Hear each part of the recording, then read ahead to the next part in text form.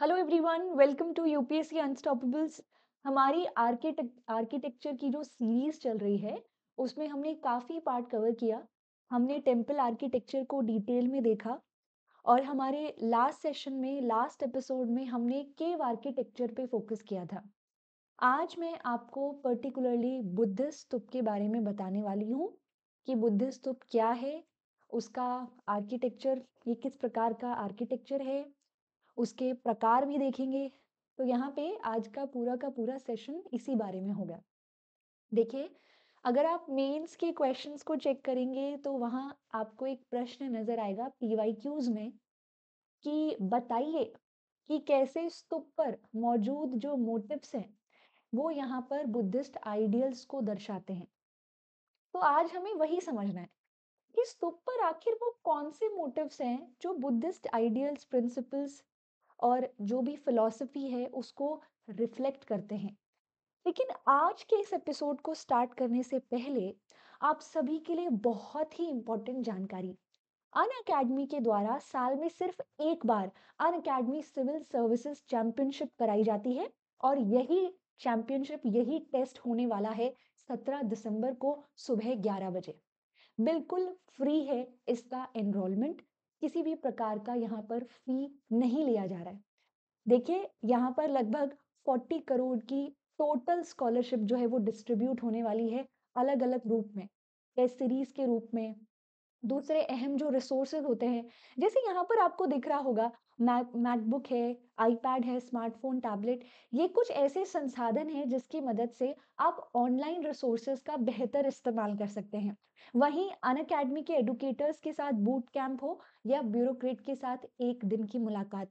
यहाँ पर आप ऐसे लोगों से मिलकर अपने जो भी डाउट्स हैं प्रिपरेशन रिलेटेड उनको और बेहतर तरह से रिजॉल्व कर सकते हैं। वहीं प्रिलिम्स की टेस्ट सीरीज़ जो है, वो एक प्रकार से हेल्प करती है प्रिपरेशन को बूस्टअप करने में और ये समझने की, समझने में भी कि हमारे कौन से ऐसे एरियाज़ हैं, जिन पर हमें थोड़ा और बेहतर रिविजन करना है। तो Unacademy civil service championship सभी के लिए है। चाहे आप बिगनर हो, चाहे आप यहाँ पर एक ऐसे स्टेज पर हो कि अब आप रिवाइज कर रहे हैं। जो रिवाइज कर रहे हैं, उनके लिए तो और भी अच्छा है, क्योंकि Unacademy civil service championship में चाहे आपके लिए प्राइस बहुत ज़्यादा मैटर ना करे, लेकिन यहाँ जो क्वेश्चंस पूछे जाएँगे, वो क्वेश्चन एक मोक टेस्ट की तरह ही होंगे। तो इसमें जो क्वेश्चंस होंगे, उससे आपकी प्रैक्टिस होगी। आप ये भी कह सकते हो कि एक प्रकार का फ्री मॉक टेस्ट है। लेकिन सोचिए मॉक टेस्ट में अच्छी परफॉर्मेंस से आपको अगर बेहतरीन प्राइजेस भी मिलते हैं तो कितना ही अच्छा होगा। तो Unacademy civil service championship इसमें ज़रूर ज़रूर एनरोल कीजिए। 17 दिसंबर को ये टेस्ट है, सुबह 11 बजे और यहाँ पे टॉप पार्टिसिपेंट्स टॉप यहाँ पे जो एस्पिरेंट्स होंगे, जो बहुत बेहतरीन परफॉर्म करेंगे, उनके लिए बेहतरीन प्राइजेस भी हैं। तो इसमें ज़रूर पार्टिसिपेट करें एनरोलमेंट बिल्कुल फ्री है। आप यहाँ पे रेफरल कोड यूज़ कर सकते हैं A R T I one seven zero two even इस समय जब आप ये वीडियो देख रहे हैं तो इसके डिस्क्रिप्शन में आपको इसका लिंक भी मिलेगा। अगर आप चाहें तो जस्ट अभी आगे इस वीडियो को देखने से पहले उसी लिंक के माध्यम से एनरोल कर सकते हैं अगले एक मिनट में और उसके बाद इस वीडियो को कंटिन्यू कर सकते हैं। Unacademy civil service championship 17 दिसंबर को याद रखिए। एनरोल करें। अब बढ़ते हैं हम हमारे टॉपिक की तरफ़ जिसमें हम बात करने वाले हैं आज बुद्ध स्तूप के बारे में। आखिर स्तूप क्या है? इसे क्यों बनाया गया? अब इसे बनाया जा रहा है तो इसके संरक्षण संरक्षण किसने किया है? पैटर्नाइज किसने किया है? फंडिंग किसने दी है? स्तूप जो है, वो यहाँ पर पहले कैसे दिखते थे और धीरे धीरे करके उसमें किस प्रकार का इवोल्यूशन हुआ उसे देखेंगे। और जो हमारे मेंस में क्वेश्चन आया था कि स्तूप के ऊपर जिस प्रकार के मोटिव्स हैं, वो कैसे बुद्धिस्ट आइडियल्स को दर्शाते हैं, उस पर भी हमें ध्यान देना है, उस पर भी हमें फोकस करना है। तो आइए डिस्कशन स्टार्ट करते हैं। सबसे पहले तो इन जनरल ये जानने की कोशिश करेंगे कि स्तूप क्या है। लेकिन उससे पहले एक छोटी सी कहानी। आप यहाँ पर जो फ़िलहाल स्क्रीन पर पिक्चर देख रहे हैं, ये स्ट्रक्चर जो है, इसको हम स्तूप कह रहे हैं, ये सांची मध्य प्रदेश में है। इसकी कहानी यहीं से शुरू होती है। एक बार की बात है थोड़ा सा पीछे जाना पड़ेगा हमें, सांची जाना पड़ेगा हमें तो हम क्या देखते हैं 1818 में 1818 में, यहाँ एक मेजर जनरल थे, जेम्स टेलर। ये बंगाल की घुड़सवार सेना जो है, उसके सेनापति थे। अब ये मध्य प्रदेश के जंगलों से गुजर रहे थे पिंडारीज को कैप्चर करने के लिए। पिंडारीज वही हैं जो मराठा आर्मी में पाए जाते थे। मराठाज ने इन्हें आर्मी में इसीलिए तैनात किया था ताकि यहाँ पर जो वो प्लंडरिंग एक्टिविटीज़ करते हैं, उसे बंद कर दें।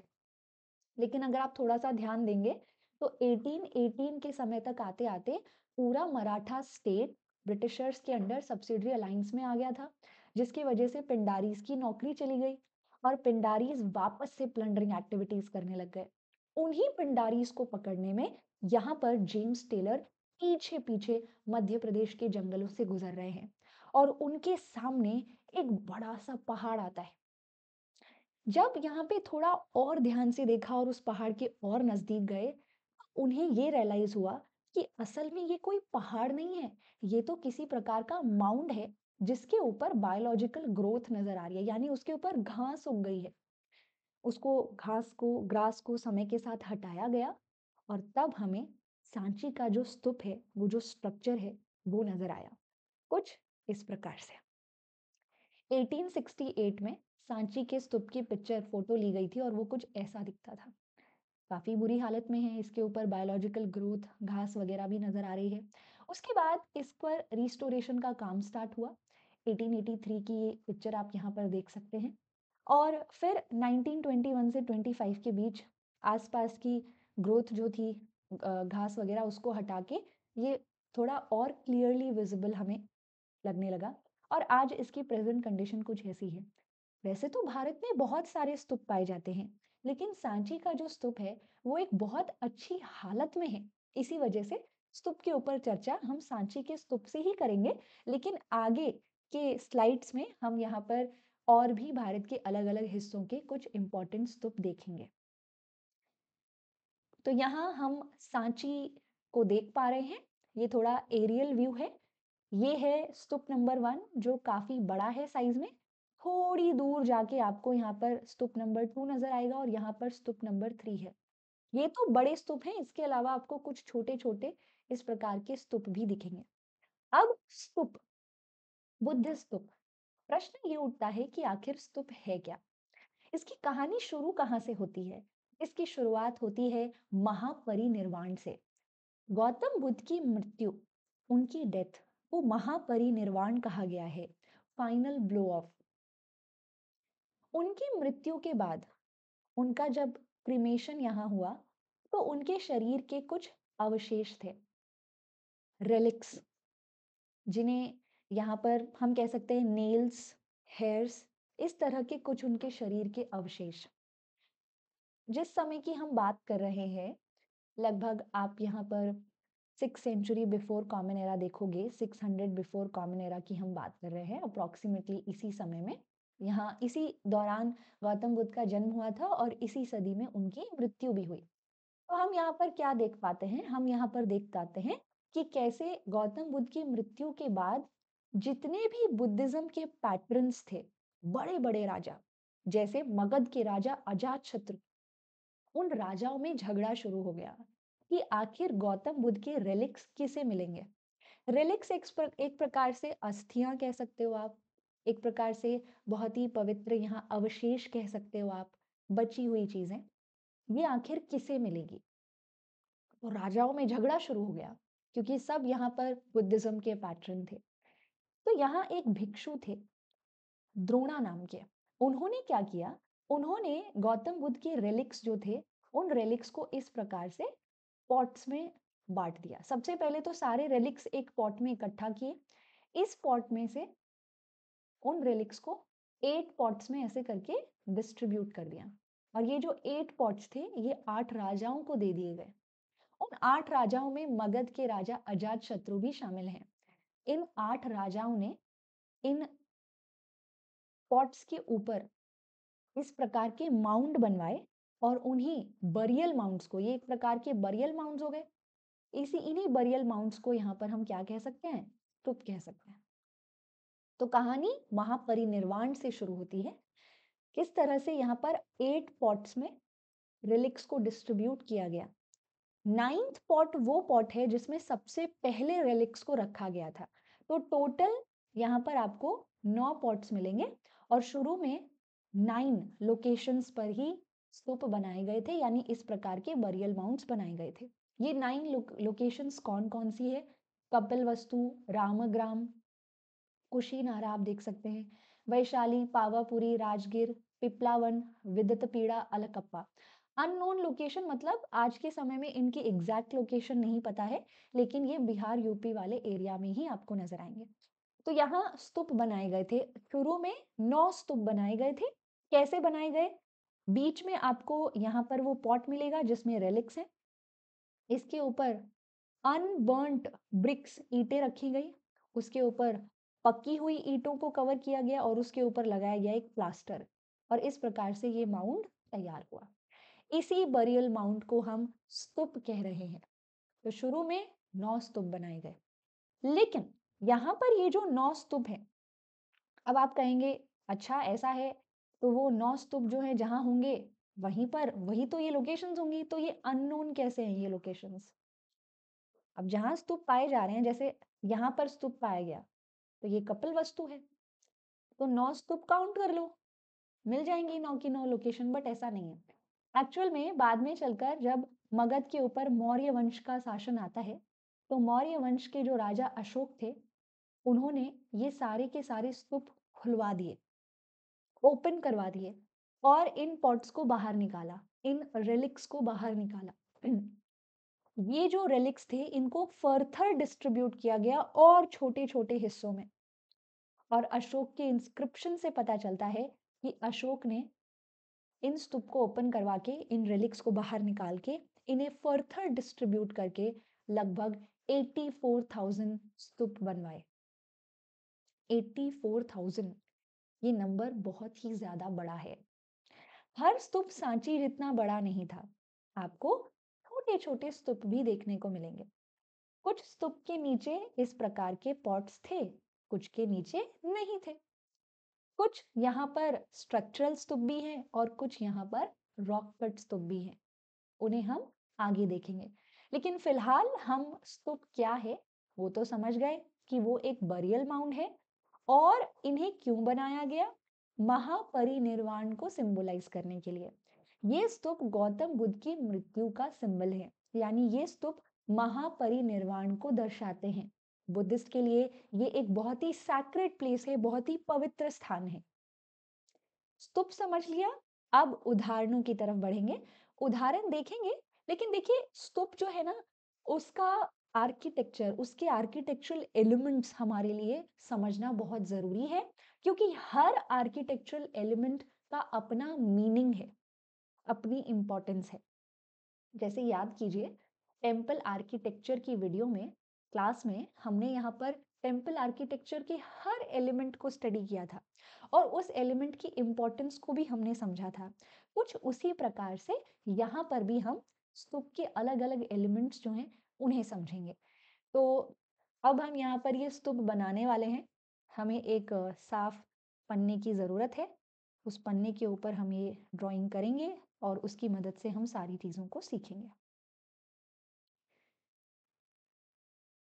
चलिए। तो शुरुआत करते हैं सबसे बेसिक फाउंडेशन से, जिसे हम मेडी कहते हैं। यहाँ पर आपको स्तूप जो है, उसकी बेसिक फाउंडेशन देखने को मिलेगी, मेढ़ी। याद रखिए, ये हम ऐसे बना रहे हैं।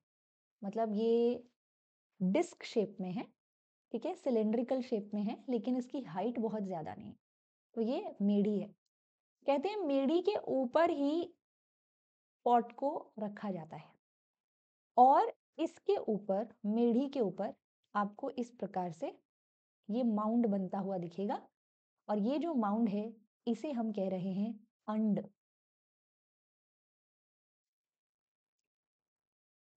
अंड के ऊपर हमें एक रेक्टेंगुलर शेप में मतलब एक क्यूबॉइड शेप में बेसिकली एक स्ट्रक्चर कुछ ऐसा नज़र आता है। इसे हम हर्मिका कहते हैं। हर्मिका के बिल्कुल बीच में से यहाँ से एक पोल आपको निकलता दिखेगा। इसे हम यष्टि कहते हैं। और इस यष्टि के ठीक ऊपर आपको मिलती हैं तीन छत्रियाँ कुछ इस प्रकार से।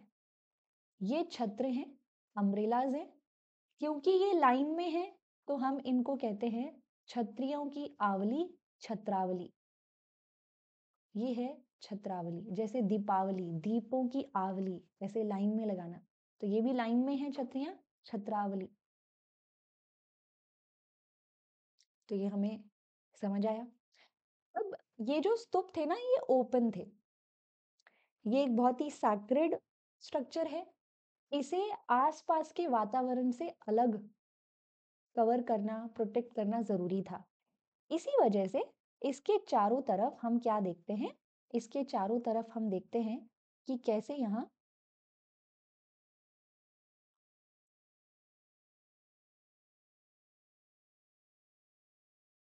इस प्रकार से बाउंड्री बना दी गई।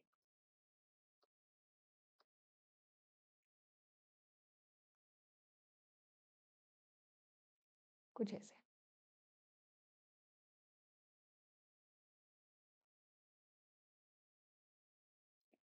और ये जो आप बाउंड्री देख रहे हैं, ये जो वॉल बनाई गई है, इस वॉल को हम क्या कह रहे हैं? इस वॉल को हम कह रहे हैं वेदिका। अब एक और चीज़ आप यहाँ पर ध्यान से समझ पा रहे होंगे कि ये जो स्तूप का स्ट्रक्चर है और ये जो वेदिका है, इसके बीच में एक गैप है। यानी एक तरह का पाथ डेवलप हो गया ये। इस पाथ का इस्तेमाल आप कर सकते हैं इस स्तूप के चारों तरफ़ परिक्रमा करने के लिए यानी ऐसे घूमने के लिए।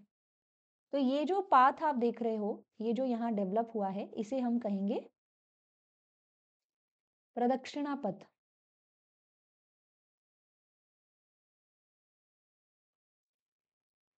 अब इंटरेस्टिंगली यहाँ पर कुछ मेढ़ी से होती हुई सीढ़ी बना दी गई।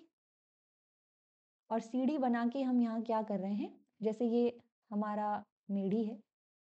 आप यहाँ पर ये मेढ़ी देख सकते हो। और ये हमारा यहाँ पर स्तूप है। तो आप देख पा रहे होंगे कि ये अंड और मेढ़ी की जो यहाँ पे एजेस हैं उसके बीच में भी एक गैप है।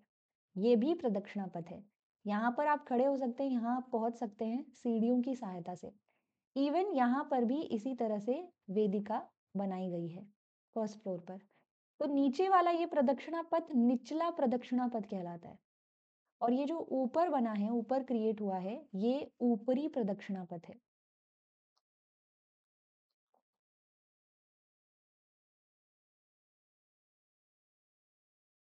कुछ ऐसा आप देखेंगे। अब ये बाउंड्री तो बना दी, लेकिन इस बाउंड्री के अंदर जाना है अगर हमें तो हमें एक गेटवे की भी ज़रूरत है। तो यहाँ हम क्या करेंगे? यहाँ हम बनाएँगे एक गेटवे।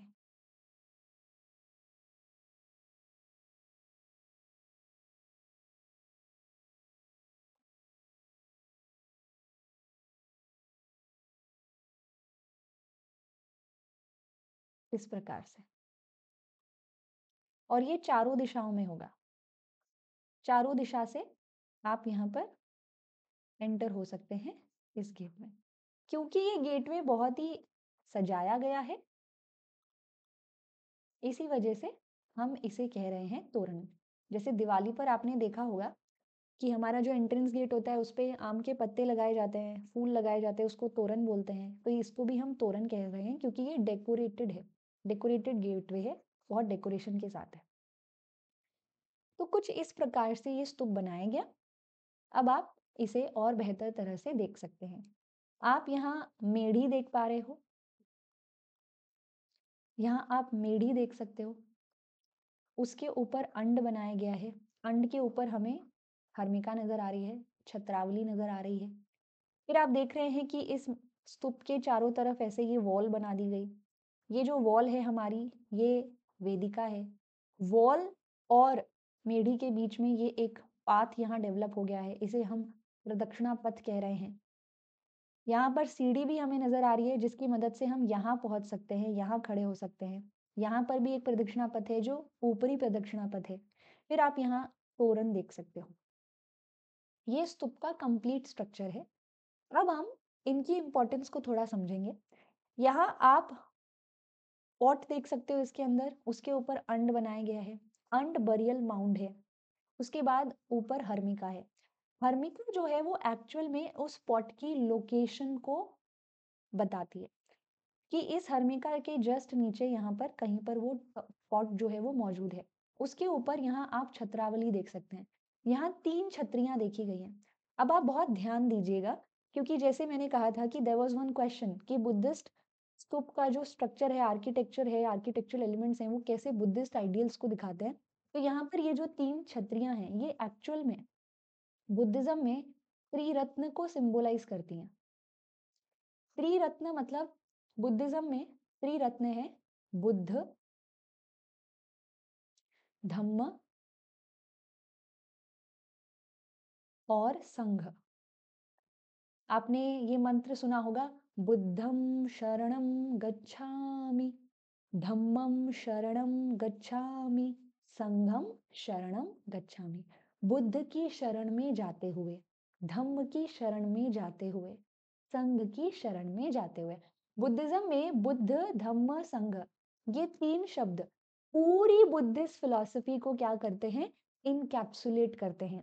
इन तीनों शब्दों को अगर हम यहाँ पर एलाबोरेट करना शुरू कर दें ओपन करना स्टार्ट कर दें एक्सप्लेन करना स्टार्ट कर दें तो पूरी बुद्धिस्ट फिलोसफी ओपन हो जाती है। यहाँ बुद्ध का मतलब क्या होता है? बुद्ध का मतलब है दी एनलाइटेंड वन जो एनलाइटन हो चुका है, जिसे ज्ञान की प्राप्ति हो गई है। धम्म क्या है? गौतम बुद्ध की टीचिंग्स हैं। संघ क्या है? गौतम बुद्ध ने यहाँ पर जो संघ एसोसिएशन स्टार्ट किए थे, जिसके अंदर रहने वाले जो लोग हैं वो कास्ट क्लास सिस्टम फॉलो नहीं करते थे।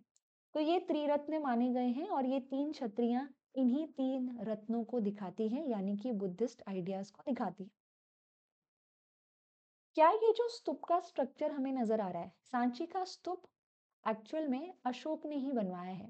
लेकिन क्या अशोक के समय में ये स्तूप पूर्ण रूप से ऐसा बन गया था? ऐसा नहीं है। एक्चुअल में हर एक एलिमेंट जो यहाँ पर आप स्क्रीन पे देख रहे हैं ये अलग अलग समय में बनाए गए हैं।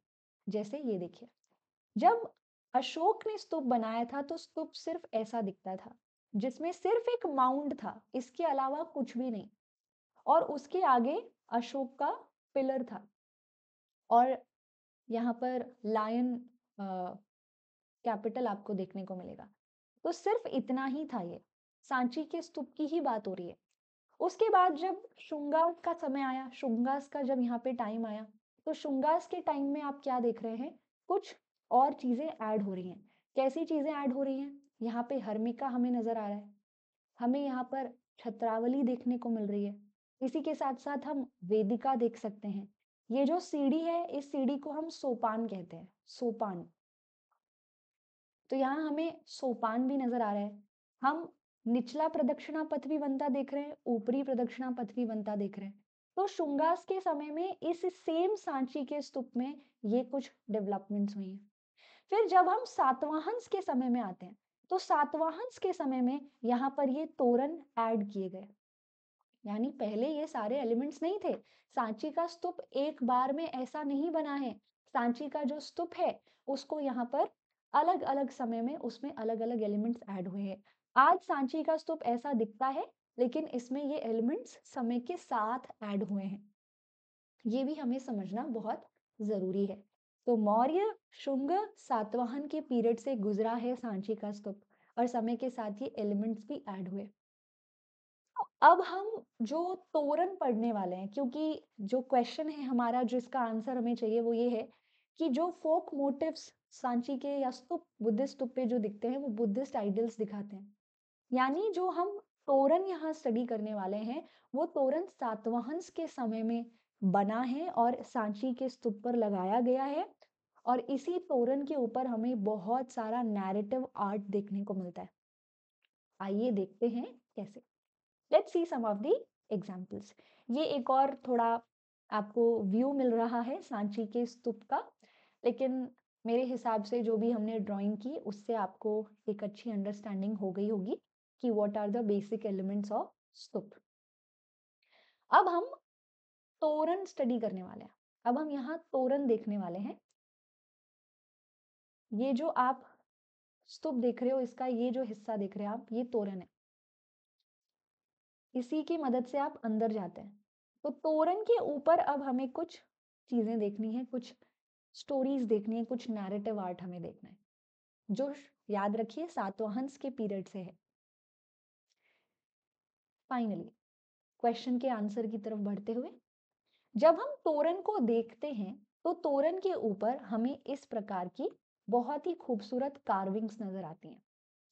लेकिन हमारे इंडियन आर्ट की ये खास बात रही है कि हमारा जो इंडिया का आर्ट है, वो सिंबोलिज्म को फॉलो करता है, वो सजेस्टिव नेचर का आर्ट है।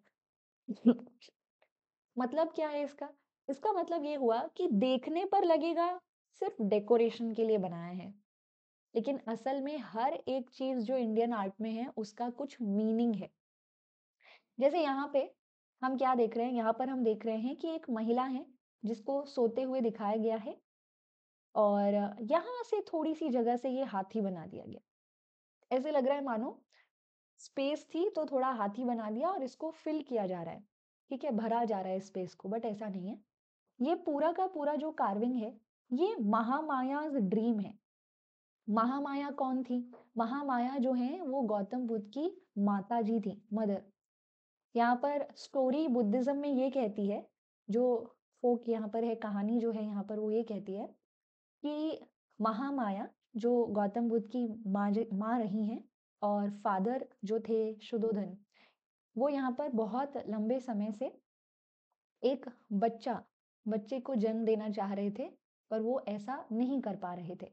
एक दिन महामाया को यहाँ सपना आया कि एक सफ़ेद रंग का हाथी उनके वोम में यानी उनके गर्भ में एंटर होता है। और अगले ही दिन यहाँ पर पता चलता है दैट शी कंसीव्ड और उसके बाद गौतम बुद्ध की सिद्धार्थ का जन्म भी होता है, गौतम बुद्ध का जन्म होता है। इसीलिए गौतम बुद्ध के बर्थ को व्हाइट एलिफेंट से भी सिंबोलाइज किया जाता है। सिंबॉलिक है, हमारे इंडिया का आर्ट सिंबॉलिक है। देखने में कुछ और लगता है बट असल में उसके पीछे की कहानी कुछ और होती है। इसी तरह से आपको बुद्धिस्ट स्ट्रक्चर्स पे ऐसी ये महिलाएँ भी नज़र आएँगी। यहाँ पर आप जो ये कार्विंग देख रहे हैं, ये शालभंजिका है। सांची के स्तूप पर ही है ये। शालभंजिका को कैसे दिखाया गया है?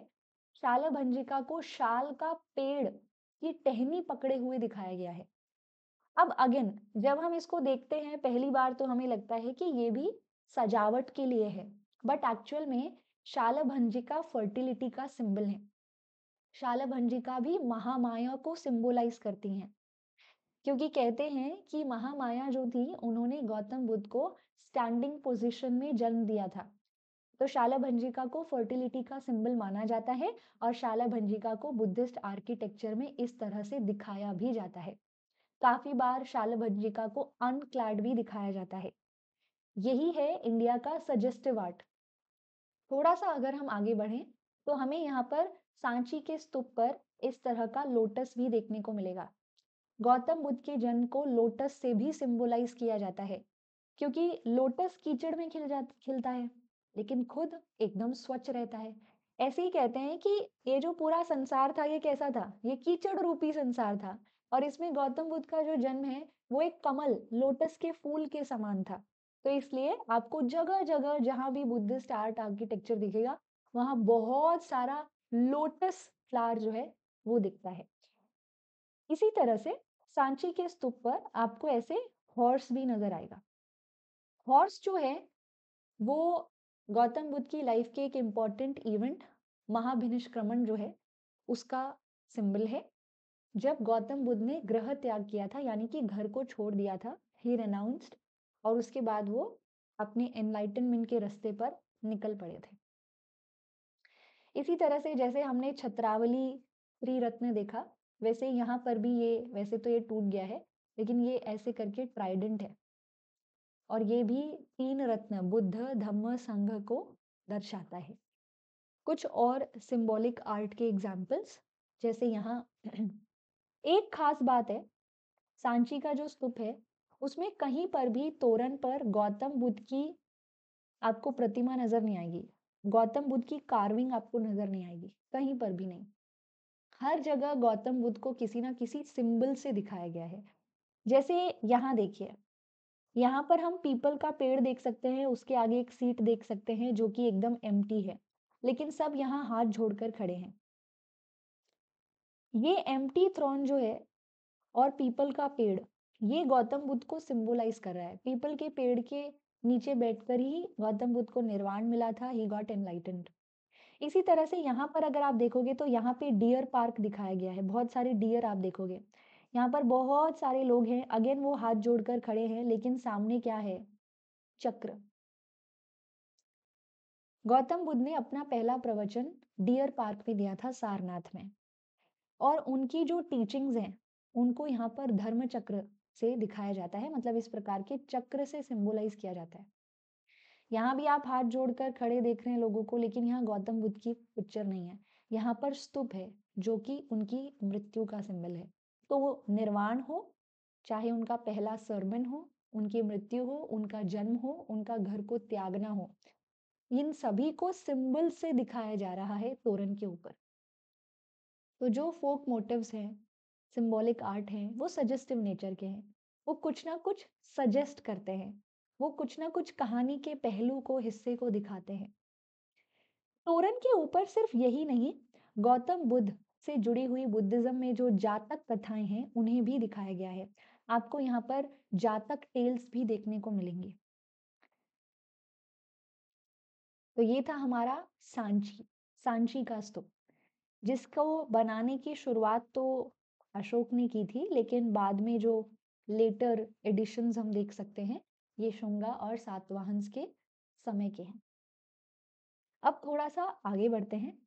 और पोस्ट मॉरियन पीरियड की तरफ़ चलते हैं। जैसे आप क्लियरली देख ही सकते हैं कि अशोक ने शुरुआत की, लेकिन मोस्टली मेजर काम जो सांची के स्तूप पर हुआ है, वो पोस्ट मॉरियन पीरियड में ही हुआ है। सांची के अलावा there are some other examples also जैसे अगर हम मध्य प्रदेश जाते हैं तो मध्य प्रदेश में बरहुत जो है, वहाँ पर आपको एक स्तूप दिखेगा। बरहुत का स्तूप शुंगा पीरियड से जुड़ा हुआ है। फ़िलहाल इस तुप की ये हालत है, इसके ऊपर भी आप घास वगैरह उगते हुए देखोगे, लेकिन आप क्या देख सकते हैं, आप इसमें सिर्फ़ मेढ़ ही देख सकते हैं। ऊपर का अंड गायब है। ये आप देख पा रहे होंगे कि ये वेदिका रही होगी, जिसके ऊपर के जो पिलर्स हैं, वो अब मौजूद नहीं है। ये एक बहुत ही पुरानी पिक्चर है, जिसमें इस स्तूप के कुछ अवशेष नज़र आ रहे हैं। तो आर्कियोलॉजिकल सर्वे ऑफ़ इंडिया ने इस स्तूप के बचे हुए अवशेष जो थे, उनको यहाँ से उठाकर पास के ही म्यूज़ियम में रख दिया। तो अब ये जो आप यहाँ पर अवशेष देख सकते हैं, ये म्यूज़ियम में है, मध्य प्रदेश में, और वहाँ पर हम बरहुद के स्तूप के कुछ एलिमेंट्स को स्टडी कर सकते हैं। तो बरहुद के स्तूप में भी अगेन, जैसे आप ये जो देख रहे हैं, ये क्या है? देखने से समझ आएगा, ये तोरण नहीं है, ये वेदिका है। वेदिका के ऊपर आपको लोटस दिख रहे होंगे, हर तरफ़ लोटस। लोटस, जैसे मैंने आपको बताया, गौतम बुद्ध की जन्म का सिंबल है। यहाँ पर फिर से आप शालभंजिका को देख सकते हैं, जो पेड़ की टहनी पकड़े हुए दिखाई गई है। ये भी बरहुद के ही स्तूप का एक पैनल है, वेदिका का हिस्सा है ये। यहाँ पर भी आप शालभंजिका को पेड़ की टहनी पकड़े देख देख सकते हैं, जो कि महामाया यानी गौतम बुद्ध की माता को दर्शाती है। शुंगास के समय में मोस्टली इस प्रकार के जो मेल फिगर्स होते थे, उनमें एक चीज़ अलग देखी गई कि उनके सर पर इस प्रकार की जो पगड़ी दिखाई जा रही थी, उसमें हमें सामने एक नॉट नज़र आती है। बरहुद के स्तूप पर भी अगेन हम यहाँ जातक टेल्स देख सकते हैं। मैं आपको कुछ और एग्जाम्पल्स दिखाती हूँ। बरहुद के ही स्तूप के। जैसे यहाँ यहाँ आप अगेन महामाया ड्रीम देख सकते हैं, जिसमें महामाया सोती हुई दिखाई गई है और यहाँ पर हाथी है। कोई एकदम से देखे जिसे बुद्धिज्म का पूरा थोड़ी नॉलेज नहीं है या फिर गौतम बुद्ध के जन्म की कहानी जो नहीं जानता, वो इसे डेकोरेटिव पीस के रूप में देखेगा। लेकिन हम जानते हैं कि इन सभी कार्विंग्स का अपना मीनिंग है। चारों तरफ़ आप यहाँ लोटस फ्लावर्स भी देख सकते हैं। ऐसे ही यहाँ पर रूरू जातक गौतम बुद्ध से जुड़ी हुई जातक टेल्स जो कि उनकी प्रीवियस बर्थ के बारे में बताती हैं। तो यहाँ हम रूरू जातक देख सकते हैं। इसी तरह से आ, सांची के स्तूप पे आपको छदंत जातक वेशांत्र जातक इस तरह की जातक टेल्स दिखेंगी। बरहुत से होते हुए अब हम थोड़ा साउथ की तरफ़ चलते हैं और अब हम अमरावती के कुछ स्तूप देखेंगे। फ़िलहाल जो आप मैप में देख सकते हैं यहाँ पर आप क्या देख पा रहे हैं? इंपॉर्टेंट बुद्धिस्ट साइट्स देख पा रहे हैं आप यहाँ पे। इनमें भत्ती प्रोलू, अमरावती और नागार्जुन कोंडा ये कुछ इंपॉर्टेंट साइट्स हैं जगह पे भी है। हम इनमें से कुछ विज़िट करेंगे और स्तूप जो है उन्हें स्टडी करेंगे। तो सबसे पहले अमरावती ही चलते हैं। अमरावती में स्तूप है बुद्ध स्तूप है और उसकी हालत कुछ ऐसी है। आप देख सकते हैं, सांची के मुकाबले तो काफ़ी बड़ा स्तूप है ये, लेकिन यहाँ हमें मेडी दिख रही है। अंड जो है वो पूरे अंडे आकार में हमें नज़र नहीं आ रहा। वेदिका भी गायब है, उसके कुछ अवशेष ही रह गए हैं। ऊपर वाला जो ये फ़र्स्ट फ्लोर का वेदिका है, इसके भी छोटे छोटे टुकड़े ही अब मौजूद हैं। तो जैसे मैंने आपको पहले भी कहा था, भारत में स्तूप तो कई हैं, लेकिन सांची का जो स्तूप है वो सबसे अच्छी कंडीशन में है आज के समय में। अमरावती के स्तूप की ऐसी हालत क्यों हुई? अमरावती का जो स्तूप है, वो महाचैत्य भी कहलाता है। चैत्य शब्द का मतलब होता है वर्शिप प्लेस तो बुद्धिस्ट आके स्तूप की वर्शिप करते थे। तो आप यहाँ पर महाचैत्य के रूप में सांची के इस स्तूप सॉरी अमरावती के इस स्तूप को देखेंगे। पर इसकी ऐसी हालत किसने कर दी? एक्चुअल में हम देखते हैं कि ये जो अमरावती वाला रीजन है ये वाला हिस्सा जो है, यहाँ पर कुतुब शाही डायनेस्टी रूल करती थी। Golconda Golconda kingdom, Qutb Shahi dynasty. तो कुतुब शाही डायनेस्टी के राजाओं को लगा कि ये माउंट क्या है? हम मेडिवल पीरियड की बात कर रहे हैं। ये किस तरह का माउंट है? क्या इस माउंट के नीचे कोई खजाना तो नहीं? क्योंकि मेडाइवल पीरियड में बुद्धिज्म जो फिलॉसफी थी, वो बहुत हद तक भारत में गायब सी हो गई थी। बुद्धिस्ट फिलॉसफी में आपको लैक ऑफ़ पैटर्नाइजेशन नज़र आएगा। इसी वजह से मेडाइवल पीरियड में बुद्धिस्ट आर्किटेक्चर भी एज सच कुछ देखने को ज़्यादा मिलता नहीं है। अर्ली मेडिवल पीरियड में तो फिर भी है। लेट मेडाइवल पीरियड में you will not find Buddhist architecture तो तो क्यों है, किस लिए है, वो समझ नहीं आ रहा था। ऊपर से इसके ऊपर घास उग चुकी थी। तो उन्हें लगा कि शायद इसके अंदर कोई खजाना है। तो उन्होंने इस स्तूप को खोलना स्टार्ट कर दिया। कुछ मिला नहीं तो इसको वापस एज इट इज़ बनाने की कोशिश की, लेकिन ये ओरिजिनल जैसा, असल में जैसा बनाया गया था, वैसे तो नहीं बन पाया। फिर ब्रिटिशर्स आ गए। अंग्रेज़ों ने यहाँ पर जब सांची के स्तूप की तरह इस पर ये वेदिका वगैरह देखी और इसके ऊपर बहुत खूबसूरत कार्विंग्स देखी तो उन्हें लगा कि इन चीज़ों को तो हमारे देश में होना चाहिए। तो वो इस अमरावती स्तूप में वेदिका, तोरण, जो भी चीज़ें थी, उनको उखाड़ कर शिप में लाद कर अपने देश ले गए और अपने गार्डन्स को उससे सजाया। इसीलिए अमरावती के स्तूप की आज ये हालत है। तो यही कहानी, यही घटना सांची के स्तूप के साथ भी घट सकती थी, पर ऐसा हुआ नहीं। क्यों?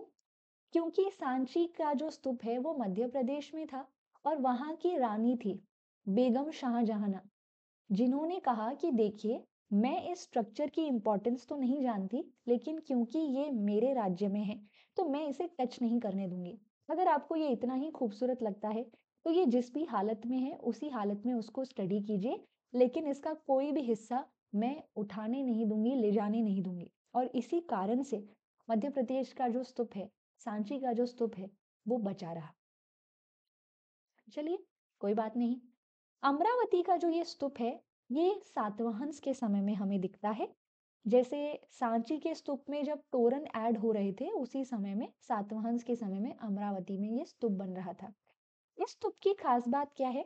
इस स्तूप में भी आपको सांची के तोरण की तरह बहुत सारा नैरेटिव आर्ट दिखेगा। यहाँ पर हम एग्ज़ाम्पल देख सकते हैं। लेकिन इस नैरेटिव आर्ट में कुछ जगहों पर आपको गौतम बुद्ध की स्कल्पचर भी नज़र आएँगे। जैसे अगर आप थोड़ा सा यहाँ पर देखेंगे मतलब आई होप यहाँ आप देख पाए।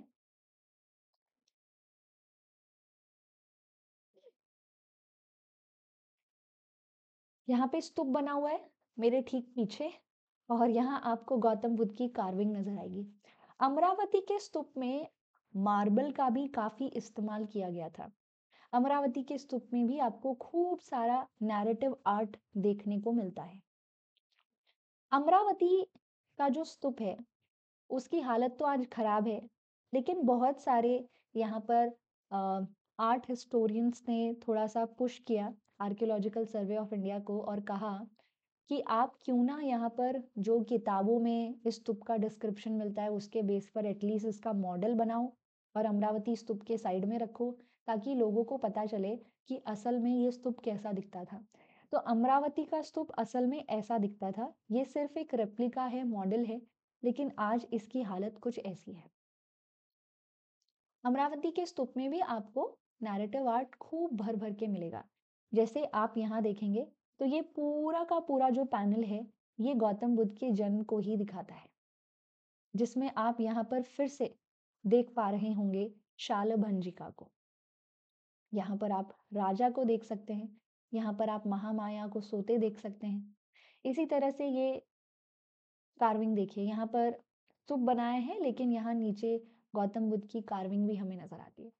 अमरावती अमरावती से कुछ दूर चल के हम यहाँ पर नागार्जुन कोंडा पहुँचते हैं और नागार्जुन कोंडा में भी हमें यहाँ पर बहुत ही बेहतरीन कार्विंग देखने को मिलती है।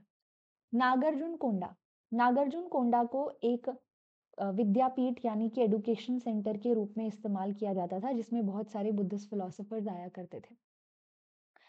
नागार्जुन कोंडा में हमें इस तरह से गौतम बुद्ध का ये एक स्टैंडिंग स्कल्पचर मिलता है, लेकिन मेरा आज का टॉपिक बुद्धिस्ट स्कल्पचर्स नहीं है, स्तूप है। तो स्तूप पर आप ध्यान दीजिए।